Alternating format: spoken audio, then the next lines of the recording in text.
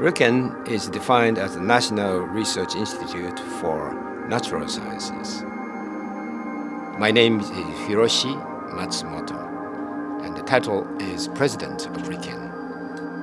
Our role is to cover almost all natural science areas, including engineering, physics, chemistry, biosciences, the medical sciences, and environmental research.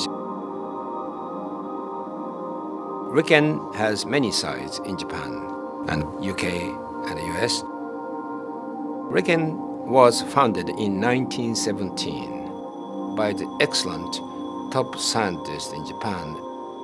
The uh, famous uh, achievement at RIKEN these days is uh, discovery of the new element 113. It's been named by uh, RIKEN researchers as Nihonium. RIKEN has various world-famous facilities, for example, Spring8 and the SACLA X-ray facilities to be used for analyzing many things, including protein. And number two is the supercomputer K. Actual speed to the applied sciences is still number one. The facilities of heavy ion accelerators and it's very unique and very famous and very high quality. That's why the many scientists coming from all, all over the world. One good scientist, for example, is Dr. Hiro Sakurai.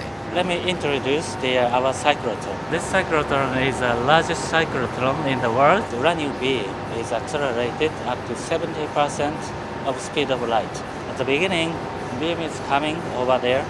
Then charged particles accelerated inside the cyclotron. Accelerated beam is irradiated to the production target. Then nuclear reaction occurs to make radioactive isotopes. These days, researchers number about 3,000.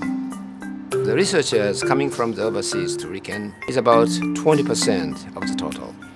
The personality we look for for scientists is the flexibility, but also they should have some their own visions for the future, not only for the research topics, but also for the future of the society. For example, FANTOM, uh, which is world famous in the genomics field, and is led by Dr. Piero Carninci. We found that the majority of uh, the RNA that are transcribed by the human or mouse genome are non-protein coding RNAs, non-coding RNAs, and they have a, regulatory function. They regulate quite a lot of activities in the genome, and uh, we have a growing understanding that they are very often functional.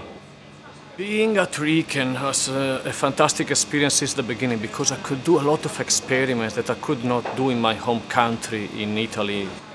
Neurodegenerative diseases are all the diseases uh, where the neurons die, like Alzheimer's disease, Parkinson's diseases.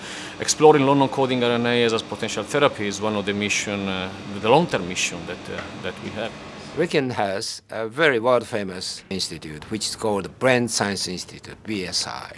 And one example is Dr. Kuroda. What I'm studying is social behavior and its brain mechanism we found the infant attachment behavior, which I call transport response. That is, that when the parents carry the infant, the infant immediately stop crying and moving, the heart rate drop. These three components occurs within a few seconds, which is amazing, very rapid and complex response. I love my work very much because we can utilize our daily life uh, experience or inspiration into the research.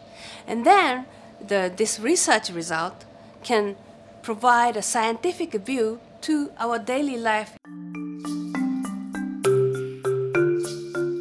RIKEN is one of the world top research institute. That's of course our role, but at the same time, the most important point is how the science and its application are very important in the future for the sake of the survivability of the human civilization.